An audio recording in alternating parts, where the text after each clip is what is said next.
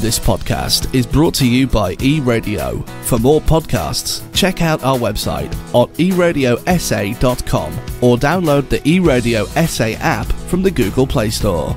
Enjoy.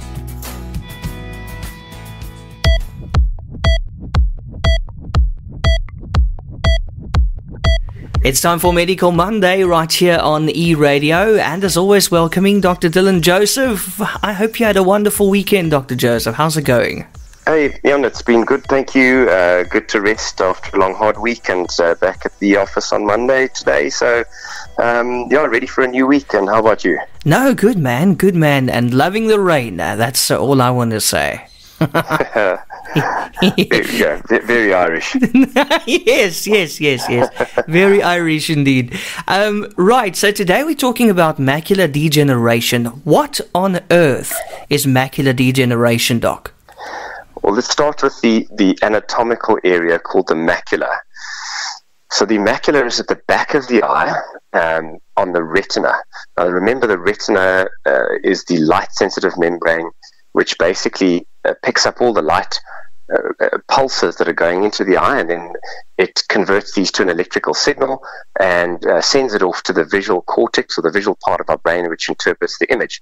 So the macula is the specific area in the retina which is responsible for very fine central vision, so high definition, 3D definition, so to speak, um, but fine detail and high resolution colors. Um, so it's often it's the it's the part that we use for reading. So uh, we're reliant on the macula for central vision. That's the big word, central vision. Um, and in macular degeneration, this area starts typically uh, degenerating, and it's usually from about 60 years of age onwards. Um, but when it undergoes this degenerative process, it can affect your central vision, um, and that is called macular degeneration. Okay, and, and what are the risk factors for uh, macular degeneration? Your um, biggest modifiable risk factor uh, is smoking. Um, and it's it's shown that basically smoking is, is like pouring petrol onto a fire if you have the the disease or um, if you have the gene for the disease. Now, macular degeneration is genetic; it's hereditary, so it's passed down from your mom and dad. But if your mom and or dad have the disease, it doesn't necessarily mean you're going to get it. It just means that we need to start screening you from an earlier age. And females get it uh, more commonly than males. Uh, generally, people over 60, as I've said earlier, um, people with fair hair, so lightly colored blonde hair and blue wow. iris, are at a higher predisposition to macular degeneration than the average person. And by default, because it's genetic, it'll always be in both eyes, both the left and the right eye. But it can be uh, in different stages of the disease in the left and the right eye. It doesn't necessarily have to affect the left and the right at equal rates, and the vision can be quite different depending on the stage of the uh, the disease. So, uh, and also our, our, southern hemisphere climates where there's a massive amount of ultraviolet exposure. Um, UV is a is a big risk factor for this. So we often advocate the use of sunglasses, which we'll talk about later, to try and mm. protect mm. the eye from it. Um, so uh, those are the risk factors in, in, in brief. But the only modifiable risk factor at this stage that we can do anything about is uh, is smoking. Okay, and uh, I understand there are different types of macular degeneration. Is that correct? Absolutely. Um, so there's two basic categories of macular degeneration: the dry form and the wet form. So uh, if we go back to trying to understand what macular degeneration is, I said it affects central vision, but in this area that controls your central vision, you've got very delicate little cells, photoreceptor cells, and the layer underneath that is called the retinal pigment epithelial layer. And these are all really critical in the transmission and conduction of light rays to the back of the brain, where we interpret uh, vision as crisp, clear, um, uh, quality central vision. And if you've got the genetic propensity and you've got a number of other risk factors, uh, basically you throw into this melting pot of where, where you, when you hit 55, 60, uh, you start developing uh, this, this problem, this macular degeneration. And in the earliest form, the dry form, we classify it into early, intermediate, late. However, um, the cells start slowing down. So every cell in our body uses uh, energy and it and uh, or, or, uses fuel uh, for its energy, and then uh, basically excretes the byproducts, the waste. And in macular degeneration, these cells can no longer get rid of the waste as efficiently as they used to. So they start accumulating these white little um, lesions or lumps under the surface of the retina, which we refer to as drusen. So if you've got macular degeneration, you might well hear the word drusen. Um, and this, unfortunately, is toxic to the retina. It causes oxidation. So oxidation is um, a really negative thing for any cell in the body. And that's why ultraviolet is very bad for uh, this part of the retina because it ultraviolet causes oxidation of tissues, and smoking does the same thing. It causes oxidation of, of tissue, and apart from reducing the blood supply to it, um, it causes cellular damage. And uh, the problem with this is uh, because it's starved of oxygen and this area cannot get rid of its byproducts efficiently, it can start developing fine, new, tiny blood vessels under the area that controls your central vision. And these blood vessels are very fragile. They are thin, they are brittle, and they can then suddenly bleed. And when they bleed, this is called the wet form of macular degeneration. Um, which is the one, funnily enough, that we can uh, treat immediately. But in, in, two classifications, broadly, you've got the uh, dry form and you've got the wet form. What is really important to remember, if you do have the macular degeneration, whether it is dry or wet, uh, it's very important to tell our patients that you will never go blind. However, you can lose your central vision to a certain extent, depending on the severity of the disease, but you will never lose your peripheral vision. It's not a disease that affects peripheral vision. Okay, and uh, the next one, I suppose, is a quite a scary question, but uh, a very relevant question. Can I go blind? Well, so the, the central vision, uh, you know, reading, writing, fine detail, uh, which which we become more dependent on as we get older, you know, 60, 70, 80, we tend to do a lot more reading than we perhaps did.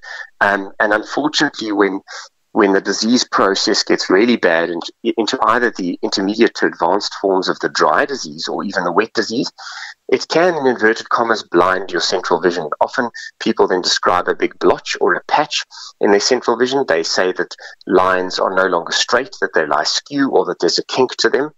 Um, and uh, so your central vision can uh, be uh, terribly affected. But once again, to reiterate, no, you will not go blind in terms of your peripheral vision. Peripheral vision means what can you see on the side, what can you see on the top, what can you see on the bottom. Um, but centrally, it can be affected, yes. And unfortunately, you know, to, to a large extent, there's not much that one can do to regain that central vision. One can use additional magnifying spectacles and prisms, etc., to try and uh, divert the light rays into the eye, but um, it's a very, very difficult entity to treat when there's a large amount of damage to the central vision. Wow. Okay, and uh, let's talk about uh, the tr- the uh, treatment, Dr. Joseph. What kind of treatment are we looking at? Well, our our biggest um, treatment in the dry uh, form of the disease, when it's at the intermediate or advanced stage, is to look at modifying risk factors. So, um, ultraviolet exposure to to wear really good uh, sunglasses. Um, we look at the um, reducing the risk factors like uh, smoking, of course, um, and, and, and stopping that at, at all costs. Uh, because when it's in the really advanced form of the dry, dry disease, it, it, it, carries an exponential factor in converting to wet form uh, with continual smoking. Um, we often advocate the, the uh, an omega-rich uh, diet, so um, uh, lots of fish and, and, green leafy vegetables.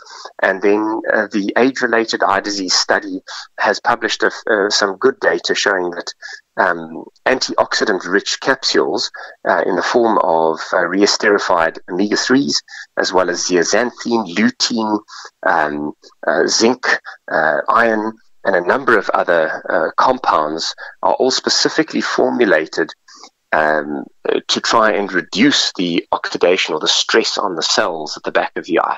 And these are in very specific quantities. So a lot of patients often ask, well, can't I just take a standard omega 3 or can't I just take this capsule of that or a multivitamin? And the answer is no. It has to be a, a, a capsule formulated specifically to target um, the the oxidation and the stress at that, that cellular level at the back of the eye. And that's what all these studies have been done uh, done for. Um, and so we prescribe a very specific type of tablet uh, for the dry form of the disease. Um, when you get through to the wet form of the disease, it's often patients, as I've said, will notice a sudden change to their central vision, a big blotch, um, you know, significant distortion of lines uh, and, and waviness to, to, to letters. Uh, and then we have to consider a treatment called um, anti-VEGF, so anti-vascular endothelial growth factor. So these are injections into the eye that we give on a monthly or two monthly basis, and eventually extend them to three monthly basis um, to try and, uh, in inverted commas, mop up the blood at the back of the eye, um, and also to try and reduce the um, these uh, new blood vessels that are forming, or to shrink them, so to speak. Um, it's important to realize and to remember that I think once we get to the stage of injecting, it's not going to restore vision. The primary function of doing the injections is to try and halt the progression of the disease so it doesn't get worse. So you don't lose more central vision. And a lot of the literature shows that on average, once we start committing to doing these injections, most people will be um, getting between 9 and 17 injections over a 18 months to two year course. Now, there's a lot of development uh, um, in terms of those uh, the modules the, or the molecular structure that we're using in these injections to try and extend the course of the interval between the injections. But um, we still uh, end up using uh, a fair amount of injections, and it's quite frustrating for the patients because they don't see visual gain. But the important thing is to remember that we don't lose further lines of vision. And at the same time, it's very important to take these um, uh, oxidant, antioxidant rich tablets that we prescribe as well. And, and if you're in the wet form of the disease, to stop smoking as well. If you, if you are smoking, even secondary smoking, you know, is as bad as primary smoking. So secondary smoking means someone else in the family um, that, you, yeah. that you're in direct contact with, living in the same house every day. That's what we call secondary smoking. Mm. Um, so those are the, the risk factors that we try and um, modify. There are sort of very early uh, developmental uh, projects and, and trials on the go on trying to replace the um, the epithelium that's now the, the, the, back of the eye that's now damaged, and to try and uh, modify genes as well, so that we can try and delete the gene so that you don't develop the disease. But I'm, I'm not sure in my career and my lifetime whether this may be a feasible treatment option for our patients, but we can only hold thumbs because that may be a, a massive um, gain for us.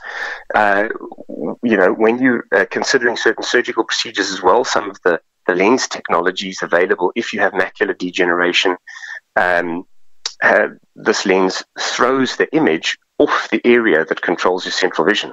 But you have to have significant vision loss then to be able to use this lens. Um, and, and it basically utilizes the principle of um, having the light rays thrown onto an area of healthy retina rather than damaged retina. So you retrain your brain to use this area to see centrally. Um, there's also very, very expensive lenses, and as I've said, for the really, really advanced uh, forms of the disease. Dr. Joseph, you know what they say uh, prevention is better than uh, cure. Uh, can I prevent the disease from starting in any way? Prevention is a problem, you know, especially if there's genetics involved. And I think, you know, if you do know that a parent, uh, a sibling, has macular degeneration, one, it's really important to see your ophthalmologist and to see your optometrist for screening. And two, to try and really modify those risk factors like ultraviolet exposure. Make sure that you wear a good pair of ultraviolet spectacles that you can get from your local optometrist. So UVA and UVB rays, so 100% blockout, is really important. And a lot of people ask me, well, uh, you know, if their family member has macular degeneration, shouldn't I be taking these tablets? And as I said earlier, the data only shows really from the intermediate to advanced forms of the disease that these antioxidant tablets have benefit. So the answer is no. There's no point in really just taking them if you don't already have the disease. And of course, if you know that a family's member's got the disease and, um, you know, the, the, you, you haven't had your gene testing because you can have it done and you are a smoker, once again, I've, I've said it a, a number of times um, already tonight, that is the biggest modifiable risk factor. So um, I would certainly look at uh, stopping that because it could certainly reduce the onset of the disease. And if you do develop it, it would certainly uh, aid in slowing the progression down. Um, but uh, prevention, yes, 100% better than cure, but we've got to look at the risk factors that we can modify. But we can't, we can't prevent it, unfortunately, yeah. unless we can mod- modify your genetics. Yeah, exactly. we haven't figured out to do that yet. Um, no, not, not yet. Um, and uh, Dr. Joseph, also, you know, if you have family members with macular degenera- degeneration, I'm sure you are mm. uh, concerned about it. You know, uh, when should I be mm. seen if if I have family members yeah. with it?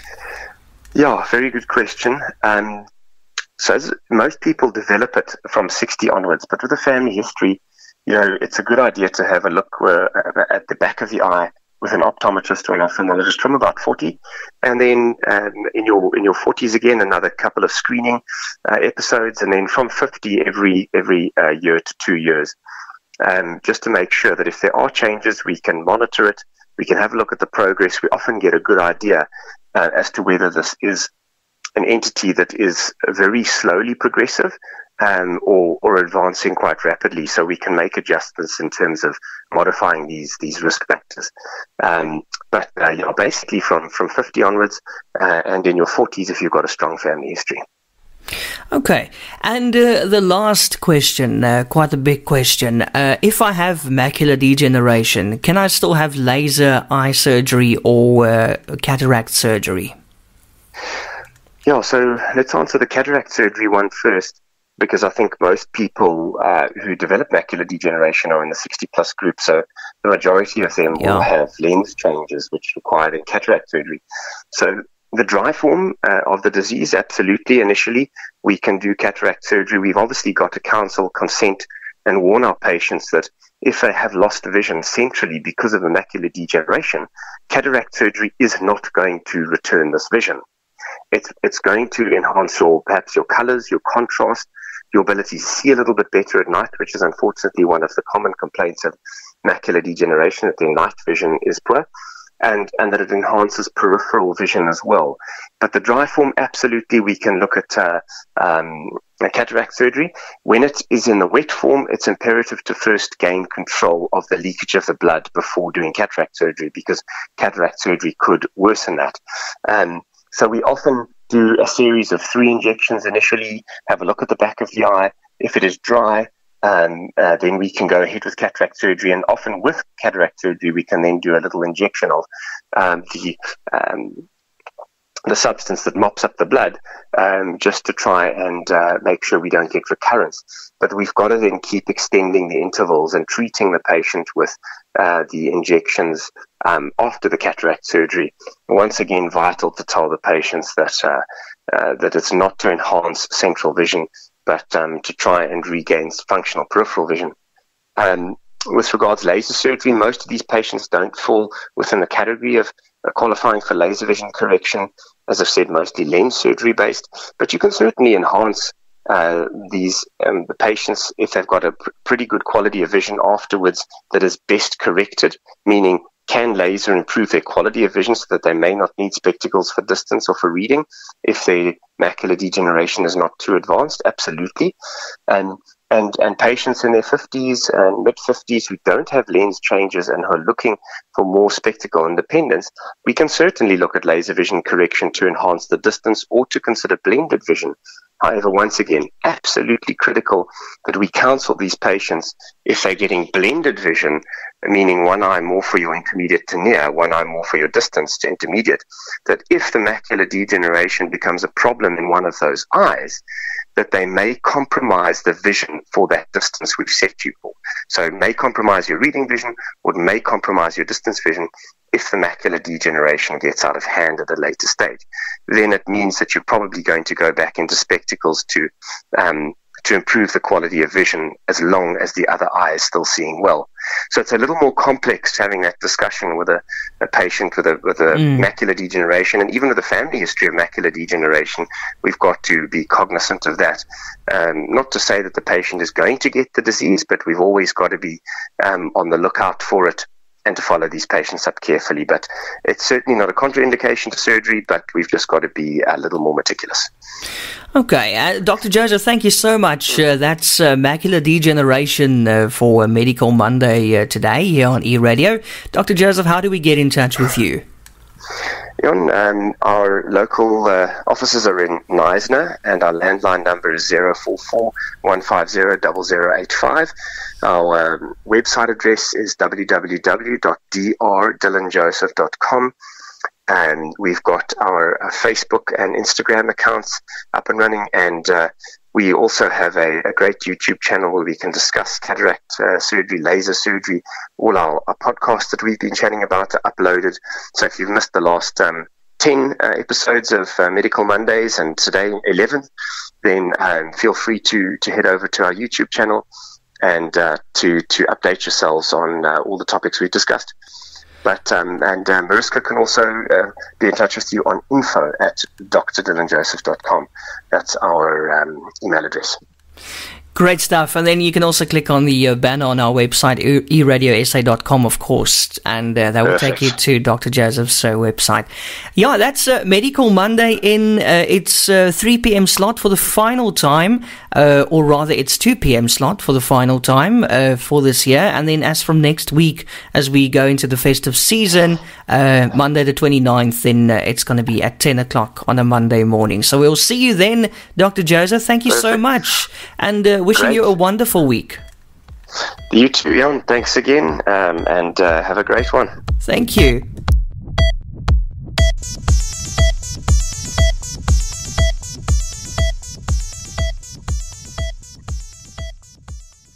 This podcast was brought to you by eRadio. For more podcasts, check out our website on eradiosa.com or through the eRadio SA app from the Google Play Store.